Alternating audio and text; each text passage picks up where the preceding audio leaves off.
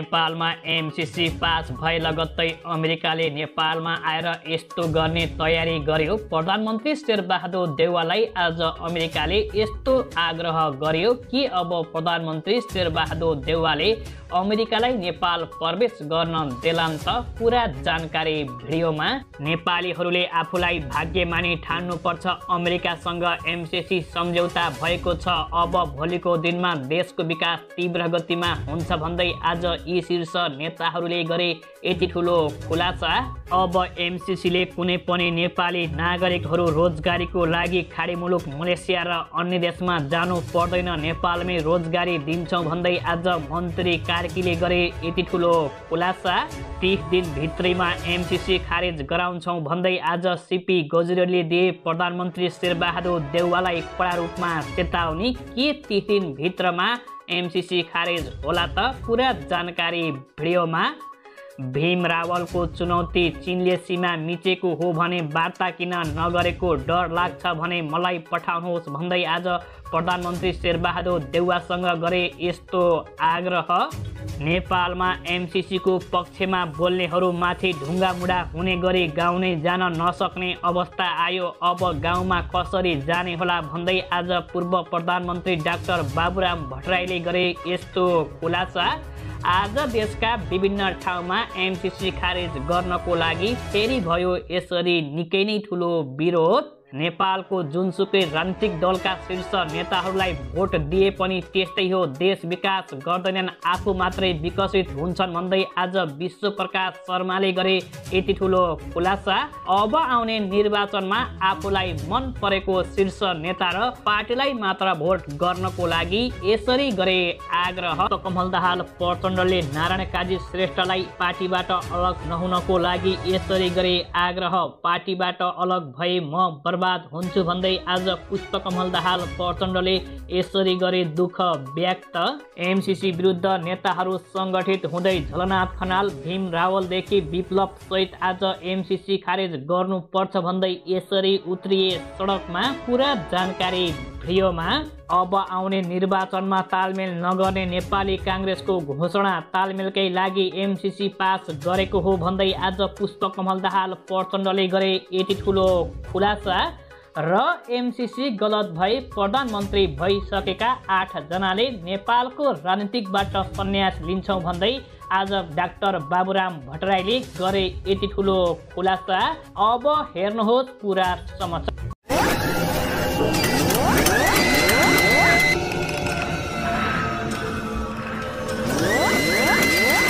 दर्शकबिनहरू सदा जस्तै आज पनि विशेष रिपोर्टका साथ उपस्थित भइसकेका छौँ। यो भिडियोलाई अन्तिमसम्म हेरेर हामीलाई साथ दिनुहोला। यदि तपाईँहरूले अहिलेसम्म पनि हाम्रो च्यानललाई सब्सक्राइब गर्नुभएको छैन भने हाम्रो च्यानललाई सब्सक्राइब गर्नुहोला र नजिकै रहेको बेल आइकन दबाएर हामीसँग निरन्तर रूपमा जोडिनुहोला। दर्शकबिनहरू यो भिडियोलाई लाइक कमेन्ट गरेर सम्पूर्ण नेपालीहरूमा पुर्याउनको लागि यो भिडियोलाई सक्दो सेयर गर्नुहोला। दर्शकबिनहरू पछिल्लो समय नेपालमा एमसिसी पास भए लगत्तै अहिले एमसिसीको विषयमा भने निकै नै टिका टिप्पणी भइरहेको छ। नेपाली नागरिकहरूले एमसिसी चाहिँदैन देश बेच्न पाइँदैन भन्दै सक्दो विरोध गरिरहँदा पनि नेपाल सरकारले एमसिसी पास गरे लगत्तै अहिले नेपाली नागरिकहरू भने नेपाल सरकार र प्रधानमन्त्री शेरबहादुर देउवासँग निकै नै रुष्ट बनिरहेका छन्।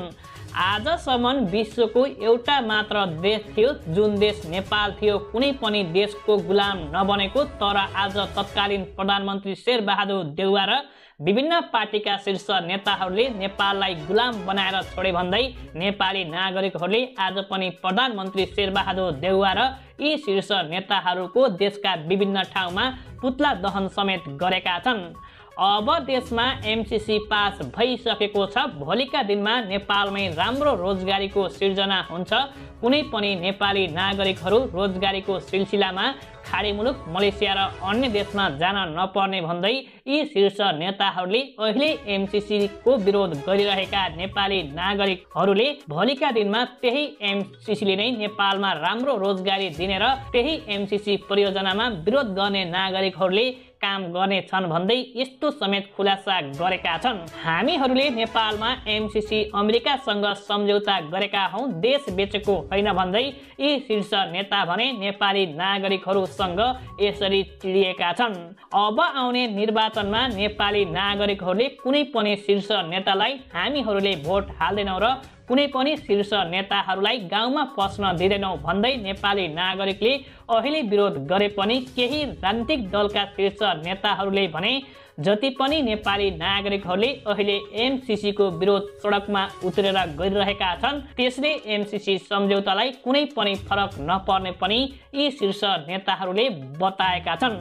दर्शकबिनहरू यसै क्रममा यी शीर्ष नेताहरूले नेपालमा एमसिसी पास हुनु भनेको नेपालीहरू निकै नै भाग्यमानी भएकै कारणले गर्दा आज अमेरिकासँग नेपालले यति ठुलो सम्झौता गरेको भन्दै यस्तो समेत खुलासा गरेका हुन्। दर्शकबिनहरू अबको तिस दिनभित्रैमै एमसिसी खारेज गराएर छाड्छौँ भन्दै सिपी गोजरेले आज यस्तो कुरा खुलासा गरेका छन्। मोहन वैद्य नेतृत्व नेकपा क्रान्तिकारी माओवादीका नेता तथा देशभक्त जनगणतान्त्रिक मोर्चाका अध्यक्ष सिपी गोजरेले एमसिसी सदनबाट अनुमोदन गरिए पनि यसलाई खारेज गर्न सकिने पनि उनले बताएका छन्। अन्य सम्झौता झैँ एमसिसी सम्झौतालाई पनि तिस दिनको सूचना दिएर खारेज गर्न सकिने विभिन्न किसिमका प्रावधानहरू रहेकाले आफ्नो दल र मोर्चासहित छवटा दलले आन्दोलनको घोषणा गरेको पनि उनले बताएका छन्। एक कार्यक्रममा बोल्दै गोजरियलले एमसिसी सम्बन्धमा श्रीलङ्काले पनि सदनबाट अनुमोदन गरिसकेपछि तिस दिनभित्रै खारेज गरेको उदाहरण प्रस्तुत गर्दै त्यही अभ्यासको आधारमा सडक सङ्घर्षको कार्यक्रम तय गरिएको पनि उनले प्रष्ट पारेका छन्। उनले भने सडकदेखि सदनसम्मको आन्दोलनले झनै पनि यसलाई चर्काउन सकियो भने व्यावहारिक रूपमै एमसिसी खारेज गर्न सकिने आफूलाई विश्वास रहेको र एमसिसी खारेज गर्नको लागि नेपाली नागरिकहरूले आफू र आफ्नो पार्टीलाई साथ दिने पनि आफूलाई विश्वास रहेको पनि उनले उल्लेख गरेका छन्। सदनबाट पारित भइसकेको विषयलाई दुई मोर्चासहित छवटा राजनीतिक दलहरूले सस्तो लोकप्रियका लागि आन्दोलनको घोषणा नगरेको पनि उनले बताएका छन्।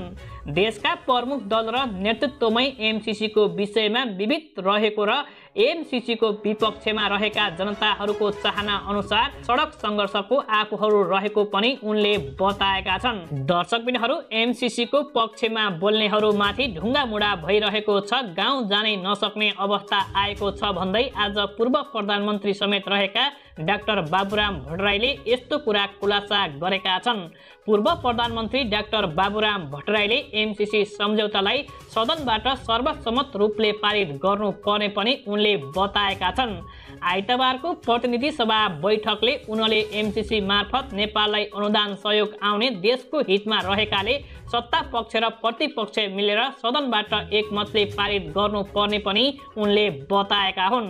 डाक्टर बाबुराम भट्टराईले एक मतले एमसिसी पारित गर्नका लागि आवश्यक कदम चाल्ने सत्ता पक्ष र प्रतिपक्षलाई आग्रह गरे। उनले भने सबै हिसाबले हामीले एमसिसी मार्फत जो अनुदान सम्झौता छ अनुदान सहयोग आउनेछ र देशको विकास छिटोभन्दा छिटो हुने पनि उनले बताएका छन्। अमेरिकाबाट यति ठुलो रकम सहयोगको लागि नेपाललाई आउनु भनेको यो भाग्यकै कुरा हो पनि उनले खुलासा गरेका छन्। यसलाई लिएर जानु नै उपयुक्त हुन्छ। यसतर्फ हामीहरूले ध्यान दिउँ र मुख्य प्रतिपक्षीसँग पनि मेरो आग्रह छ। गठबन्धनका साथीहरूसँग पनि मेरो आग्रह छ। हामीले एकमतले यसलाई पारित गरेर हामी अगाडि बढ्यौँ भने नेपाली नागरिकहरूले नेपालमै रोजगारी दिने र एमसिसी यो नै नेपालको हितमा रहेको पनि उनले बताएका छन्। पछिल्लो समय नेपालको अवस्था निकै नै नाजुक भइरहेको र नेपाल सरकारले देशको विकास गर्नको लागि नसक्ने अवस्था आइसकेको अवस्थामा अमेरिकी सहयोग परियोजना मिलिनियम च्यालेन्ज कर्पोरेसन एमसिसीबाट आउने उक्त सहयोग रकमले देशको विकास हुने पनि उनले बताएका छन्। दर्शकबिनहरू आज पनि देशका विभिन्न ठाउँमा एमसिसीको बारेमा विरोध भइरहेको छ भने आज पनि विरोध क्रममा नेपाली नागरिकहरू घाइते समेत भएका छन्। नेपालका राजनीतिक दलका शीर्ष नेताहरूले आफ्नो पद र आफ्नो कुर्सी बचाउनकै लागि नेपालमा एमसिसी पास गरेको भन्दै यी शीर्ष नेताहरूलाई अब नेपाली युवाहरूले कुनै पनि हालतमा नछोड्ने भन्दै आज युवाहरूले कडा रूपमा चेतावनी समेत दिएका छन्। नेपाली भूमिमा अरू देशका सेनाहरू आएर रचाइ गर्ने र नेपाली नागरिकहरूलाई ती अरू देशका सेनाहरूले निकै नै दुःख दिने गर्न सक्ने भन्दै अब नेपालबाट एमसिसी खारेज नभएको खण्डमा नेपालीहरूलाई नेपाल सरकारले गुलाम बनाउन लागेको भन्दै आज युवाहरूले यस्तो समेत खुलासा गरेका हुन्।